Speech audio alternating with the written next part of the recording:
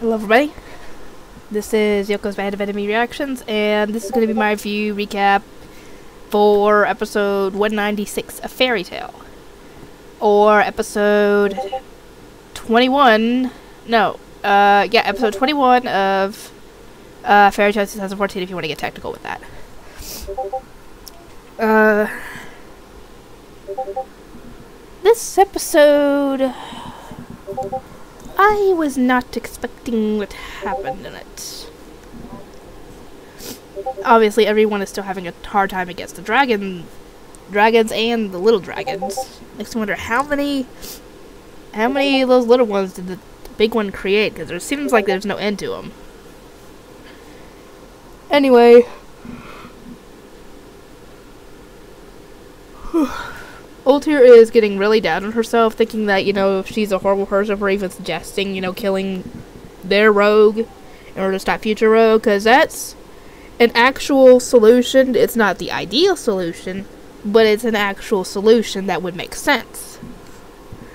You know, it's not obviously ideal because we'd be killing someone who had, who has not done anything wrong in that sense. But it is an actual solution. It's a like I said, not the ideal one, but it is a solution. And that she can't can't atone for what she's done in her life, which is uh, many things, including manipulating Jellal into constructing Tower Heaven, hurting everybody, killing Simon, blah blah blah, blah all that stuff, and uh, what she did to what else did she do? Uh, well, the whole Kagura thing, Simon's brother, blah, blah, with that, and Miliana, of course. Oh, that's all directly tied to the whole Jellal thing. What else did she do?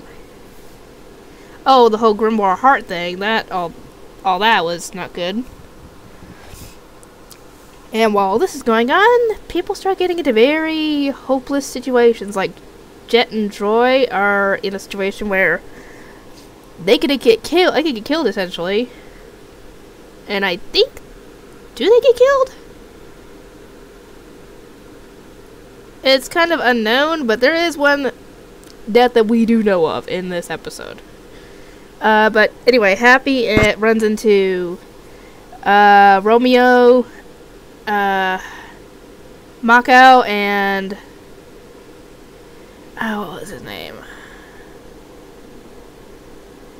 Uh, friend. I can't even know what his name is off the top of my head, but he runs into them. They're hiding out in an abandoned, uh, broken down building. You know, while they're fighting off, uh, the dragon things. And he tries to get them to, you know, go with him. But, uh, Happy, they tell Happy, you know, go on without us. We'll be fine. We're fine. And Happy reluctantly leaves without them. Oh, Wakaba. That was his name. That was what his name was. I could. I had to think for a second. I had to think back on what Mira said back in one of the earlier episodes of the show, where the guy was hitting on her, and she said, "Well, there's one problem with that Wakaba. Uh, Wakaba, you've already got a wife." I had to remember for a second. But um, yeah, that happens, and Natsu and Atlas Flame are fighting Future Rogue and the Mother Dragon and uh, the Dragon Slayers are having a are essentially having the same effect as the others were having on the dragons, which is not good.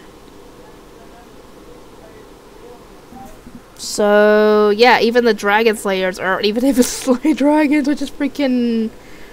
Well, first of all, it's kind of pathetic, but then again, the dragons are on a whole other level than they are at this point. So. Anyway, uh...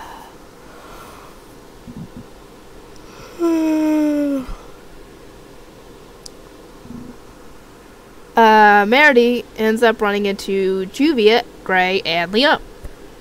And Gray has to push them down out of the way to avoid some attacks. And, um, Gray's handed up on her uh, Juvia's tushy. And she's obviously blushing and freaking out about it.